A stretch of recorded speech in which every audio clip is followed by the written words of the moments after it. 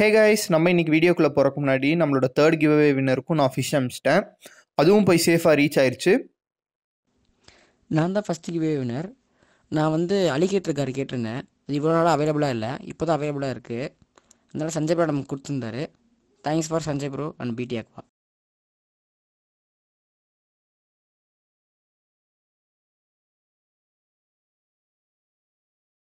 aqua so தான் வந்து நான் என்னோட மூணு கிவ்அவே வினர்ஸ்க்கும் வந்து கிஃப்டே அனுப்பிச்சு முடித்தேன் ஸோ அதுக்குள்ளே நிறைய பேர் வந்து டென் கே கிவ்அவே கேட்டுகிட்டே இருக்கீங்க. ஸோ அதுவும் நான் கூடிய சீக்கிரம் அப்டேட் பண்ணுறேன்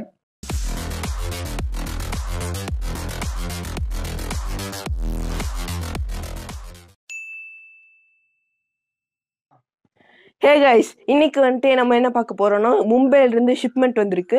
அந்த ஷிப்மெண்ட்டில் வந்துட்டு ரெண்டு எக்ஸாட்டிக் வெரைட்டி ஃபிஷ் வந்திருக்கு. அதில் நம்ம என்னன்னு பார்க்கறதுக்கு முன்னாடி சப்ஸ்கிரைப் பண்ணாதவங்க சப்ஸ்கிரைப் பண்ணிக்கோங்க. நம்ம வீடியோக்குள்ளே போயிடலாம். வாங்க.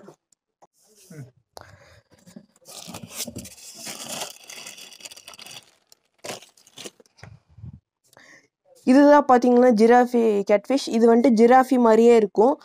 இது வந்துட்டு நம்மகிட்ட தான் ஃபஸ்ட்டு வந்திருக்கு. இதுதான் வந்துட்டு டாட் நைட் ஃபிஷ் இது வந்துட்டு நமக்கு நல்ல சைஸ் வந்திருக்கு. இதை பற்றி அண்ணா உங்களுக்கு எக்ஸ்பிளைன் பண்ணுவாங்க. ஸோ இந்த டைம் பார்த்தீங்கன்னா நமக்கு வந்து நாலு ஜிராஃபி கேட்ஃபிஷ் அப்புறம் நாலு டாட்னாய்ட் ஃபிஷ் வந்துருந்துச்சு. ஸோ ஜிராஃபி கேட்ஃபிஷ் பார்த்தீங்கன்னா ரொம்பவுமே ஹெல்த்தியாக இருந்துச்சு. அதே மாதிரி டாட்னாய்ட் பார்த்தீங்கன்னா நாங்கள் எக்ஸ்பெக்ட் பண்ண சைஸ் விட பெருசாகவே வந்துருந்துச்சு. த்ரீ இன்ச் தான் ஆர்டர் பண்ணோம் ஆனால் ஃபோர் இன்ச் வந்துருந்துச்சு. ஸோ டாட்னாய்ட்ஸ்லாம் பார்த்தீங்கன்னா வந்து த்ரீ டைப்ஸ் அவைலபிளாக இருக்குது ஒன்று வந்து இண்டோ டைகர் அதான் காஸ்ட்லியஸ்ட் வெரைட்டின்னு சொல்லலாம். அப்புறம் வந்து நார்தர்ன் தாய்லாண்ட் டைகர் கொஞ்சம் மீடியம் காஸ்ட்டாக இருக்கும். அப்புறம் வந்து சுமத்ரா டைகர் ரொம்ப சீப்பாக கிடைக்கும். த்ரீ ஹண்ட்ரட்லேருந்து ஸ்டார்டிங்கில் இருக்குது ஆனால் அதோட பாடியில் பார்த்தீங்கன்னா கோல்டன் ஷைனிங் இல்லாமல் ஒரு மாதிரி சில்வரிஷ் ஷைனிங்காக இருக்கும். அப்புறம் ஜிராஃபி கேட்ஃபிஷ் பார்த்தீங்கன்னா எப்பவும் போல தான் ரொம்ப ஒரு பீஸ்ஃபுல்லான கேட்ஃபிஷ் ஆனால் வந்து ஒரு ப்ரிடேட்டட் டேங்க்கில் வைக்கலாம்.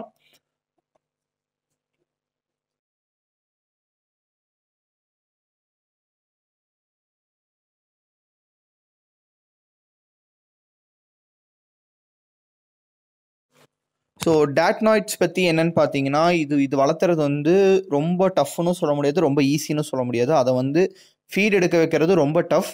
ஃபீட் எடுக்க வச்சிட்டோம்னா அதை வளர்த்துறது ரொம்ப ஈஸி. ஸோ இப்படி சொல்லிக்கலாம். நான் ரெண்டு டைம் எடுத்தேன். ரெண்டு டைமே என்னோடது செத்துருச்சு. அது வந்து ஃபீடே எடுக்காது. ரொம்ப ஸ்லோவாக தான் ஃபீட் எடுக்கும். ஒன்ஸ் எடுக்க ஸ்டார்ட் பண்ணிச்சுன்னா ரொம்ப சீக்கிரம் ஃபீட் எடுக்க ஆரம்பிச்சிடும் அதே மாதிரி க்ரோத் பார்த்தீங்கன்னா ரொம்ப ஸ்லோ ஸோ அதனால தான் இதுக்கு வந்து ஒவ்வொரு இன்ச் போகும்போது ஒவ்வொரு ரேட் சொல்லுவாங்க. அதே மாதிரி nine inch ten இன்ச்லாம் ten thousand eleven thousand fifteen thousand மேலே தாண்டிடும் அப்புறம் இதோட வாட்டர் கண்டிஷன்ஸ் வந்து நல்லா க்ளீனாக இருக்கணும். கொஞ்சம் ஹார்டியான வாட்டர்லேயும் இது சர்வே ஆகும். நார்மலாக ஆக்சிஜன் கொடுத்தா போதும். இவ்வளோ தான் இதுக்கு மெயின்டெனன்ஸ் ஃபஸ்ட்டு ஸ்டார்டிங்கில் வாங்கிட்டு வந்து இதை செட் பண்ணுறது கொஞ்சம் கஷ்டமாக எனக்கு தெரிஞ்சுது. ஆனால் வந்து என்னோட கஸ்டமர்ஸில் நிறைய பேர் வந்து ஈஸியாக செட் பண்ணி தான் வச்சுருக்காங்க. ஸோ இது பார்த்தீங்கன்னா கடிக்கக்கூடிய வெரைட்டி கிடையாது. இது அப்படியே முழுங்கக்கூடிய வெரைட்டி பீகாக் பஸ் மாதிரி. ஸோ இதை வந்து எந்த டேங்க்கில் வேணாலும் நீங்கள் வச்சுக்கலாம். ஆனால் அதோட வாய்க்குள்ள ஏதாச்சும் ஃபிஷ் போயிரும்னா கண்டிப்பாக அதை முழுங்கிரும்.